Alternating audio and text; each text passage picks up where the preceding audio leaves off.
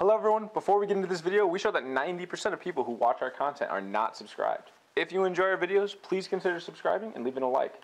Also, all the vehicles that you see in all of our videos are privately owned and they're brought to Gateway Classic Cars to sell on consignment.